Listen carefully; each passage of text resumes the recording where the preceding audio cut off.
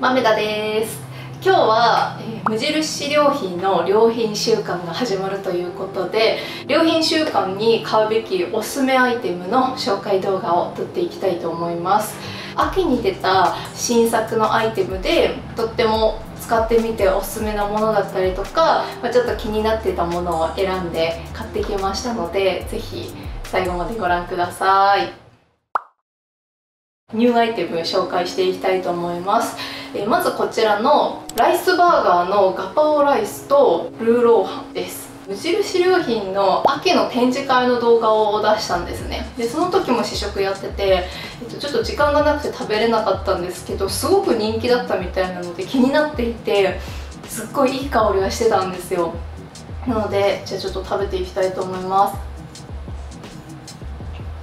うん。めちゃくちゃ美味しい。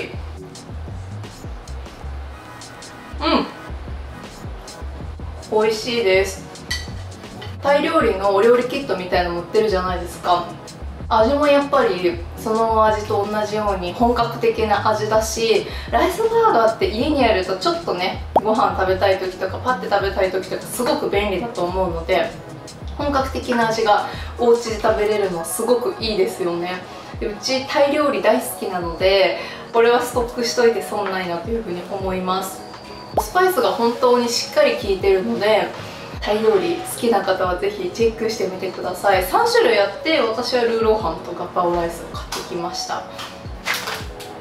素材のうまみが溶け込んだエビクリームカレー。これも新しい商品で実際に私これ食べたんですけど展示会で。すっごい美味しいんですよ。で無印のカレーって1パックになっててそこにこう具材が入ってるみたいなものが多いんですけどこれはもう具材なしであルーだけのものになってるんですね。なのでお好みで自分が好きな具材入れてもいいし、まあ、ちょっとパッて食べたい方はもうこのまま食べちゃってもいいと思うんですけどエビの味がかなりしっかりついててお家ではなかなか作れない味だったんですね。こう小分けに3袋も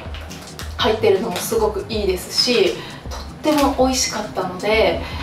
ちょっとぜひぜひあの食べてほしいなと思って買ってきました。この3パックタイプの、えっと、カレー結構ね何種類か出てるんですけどこ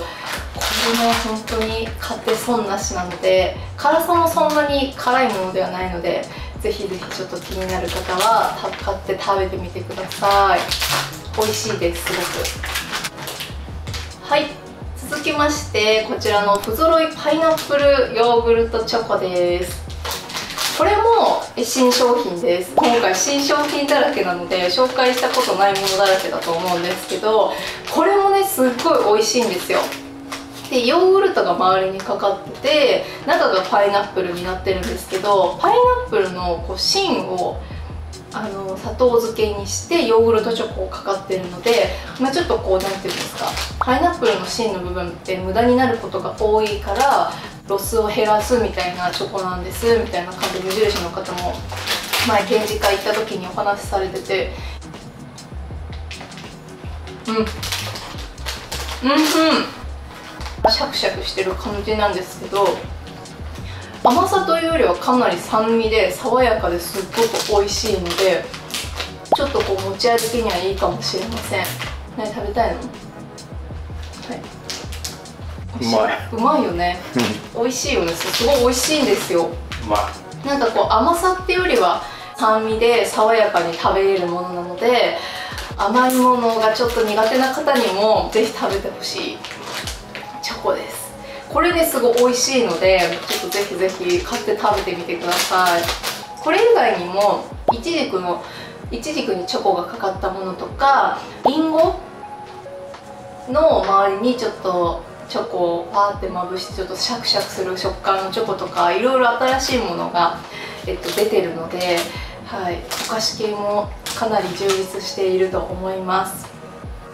えー、私がずっと狙ってて発売をすごく楽しみにしていたコットンモコモコニットのブラタンクトップです。これはカップ付きのもので生地がこんな感じでふわふわの生地でこうやって伸びる生地になってるんですけど裏部分もこんな感じでつるっとしてるので1枚でさっと着て部屋着とかにもぴったりなアイテムになっています。でここがねスクエアになってるのもとってもお気に入りポイントなんですけどこれはもう展示会で見た時にすっごい気に入って絶対欲しい絶対買うと思ってたんですけど3色展開でブラックとあとブラウンとちょっとピンクっぽいカラーがあって悩んでブラックにしました。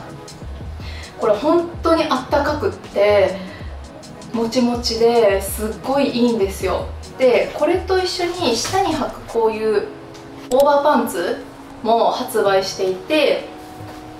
これもねすごくお腹をこうすっぽり包んでくれて、まあ、あとスカートの下とかに履いても冬場はいいんじゃないかなって思うんですけどこれも同じ生地なのでこんな感じでこう伸びるモコモコの生地になっています。ただモコモコなんですけどそこまでこう厚みがあるわけじゃないのでオーバーパンツとして履いてもこう厚みが出すぎるわけではないのですごくいいと思います。なので冬場はこ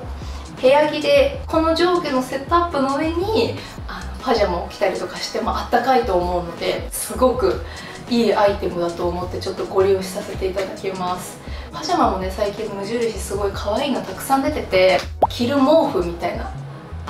パジャマがあるんですけどそういうのだけではなくて可愛いものが出てたりとかいろんな種類があるので気になる方はアパレルもチェックしてみてください。で、えーと、インナー同じくあったか麺の U ネック八分丈シャツ。これはなんか無印さんに頂いたものなんですけどこれもねすごくよくってあったか麺シリーズって本当に肌触りもよくってとってもあったかいんですよ。生地はね割とさらっとしてるんですけどしっかり防寒してくれてあったかいし肌触りもいいしっていう形ですっごいおすすめしたいんですけど化学繊維でのヒートテックとか着てしまうとこうチクチクして痛いとか乾燥しすぎちゃうっていう方肌弱い方いらっしゃると思うんですけどそういう方に無印良品のインナーはすごくあのおすすめしたいです。裏返してもらうとほとんどこう縫い目がないんですよ。この脇の部分とかこの脇のこの下の部分。に縫い目がないのでチクチク感もこう抑えられてすごくいいアイテムなのでちょっとぜひ気になる方は買ってみてください。私この前のキャンプにも1枚持ってってきたんですけどすっごい良かったです。ちゃんと防寒してくれるし結構湖のそばだったから寒かったんですけど夜とか。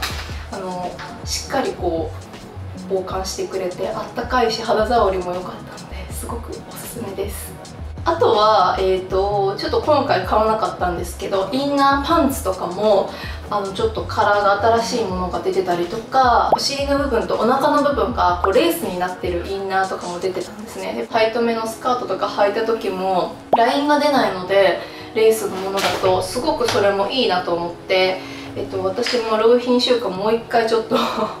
あの家で買いそびれたものとかがあるので良品週間もう一回行こうと思うんですけどその時にちょっと購入したいなって思いました。靴下は毎回紹介してるんですけど、えっと、足なり直角履き口柔らか靴下とあとこれもちょっと新しいのかな見たことなかったんですけどケーブル柄の靴下のちょっとバーガンディっぽいカラーあバーガンディですね。とあとこれは、えー、ハイソックス。シャコールグレーのハイソックスを購入しました。白い靴下は毎回良品週間のたびに買い直してで今履いてる白い無印の靴下を捨てるっていうルーティンにしてるんです汚れやすいのでそうするともうずっと綺麗な白い靴下履けるのでおすすめです。でなんかねここのがリブになってない方がちゃんと割とフィットしてくれて履き心地がいいので最近はこのリブがあんまりついてないものを買います。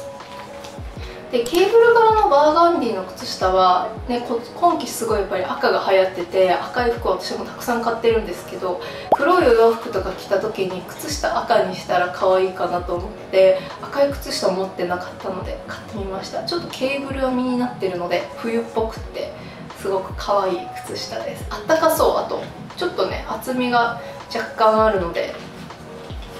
あったかそうですね。でチャコールグレーのハイソックスはこのままハイソックスにして履いても可愛いですしちょっと下に下げてあのルーズソックスっぽく履いても可愛いかなと思ってこのカラーもすごく可愛く使えそうなので購入しました。こちらこれもすごく、えっと、展示会で気になっていて実際すごい良かったので昔使ってたんですけどと消臭機能付き繰り返し使える除湿シートのハンガー用っていうタイプです。無印にもともと売ってるのは大袋に入っててこう包装になってる消臭機能付きのこういうタイプがあるんですけどこういうシートになっててここにこうハンガーを通してその上にジャケットとかをかけるみたいな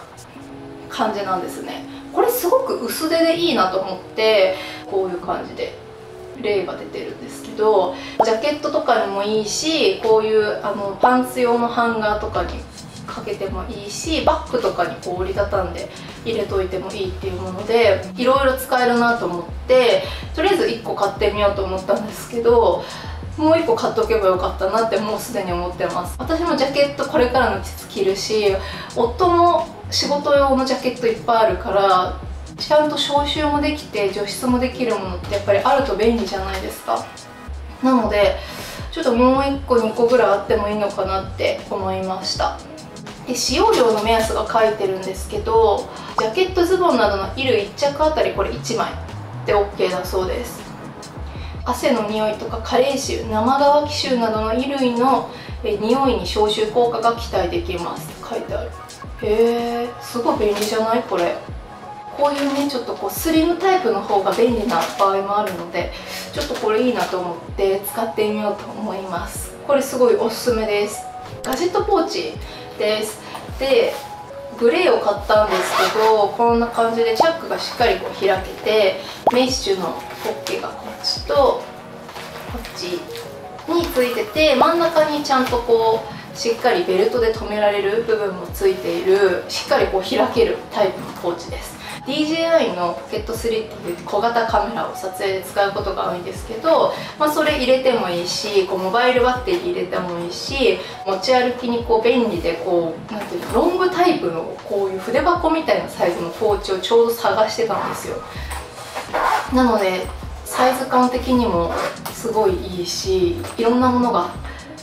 入りそうだなって思ったのでちょっと買ってみました。モバイルバッテリーとかも直接バッグに入れちゃうとバッグの中傷ついてしまったりとかバッグの中身は全部ポーチに入れときたいですね私。なのでこれすごくいいなと思ってちょっと買って使ってみようと思います。最後は香り系なんですけどインテリアフレグランスオイルの黒文字。これ新しい香りだと思うんですけどボトルがこう新しくなってちょっとプルンとした形のボトルになりましたよね。前まではもうちょっとスリムなタイプのボトルだったんですけどもうちょっとね可愛い見た目になりました。で黒文字はなんか割と香りがウッドと爽やかなお花をこう混ぜたようななんかね爽やか系な香りです。いい香りだったのでちょっとゲットしてみました。新しい香りが出てたりとかもしたので是非それも店舗に行って嗅いでみてください。私も毎回お買い物行くたびにこうやって見てあこれもいい香りだなこれもいい香りだなってやってます。はいということで、え今回は私が、え良品週間で買うべきおすすめアイテムを、えいっぱい紹介させていただきました。新作のアイテムを今回は多めに紹介してみたんですけどあの全部おすすめです。買うものってやっぱり限られてきてしまうんですけどどんどん新作が出てるのでちょっと挑戦っていう意味で買い物の参考になったら嬉しく思います。はい、えー、皆さんが良品週間でこれ狙ってますっていうものがあったら是非私に教えてください。以上マメダでした。バイバーイ。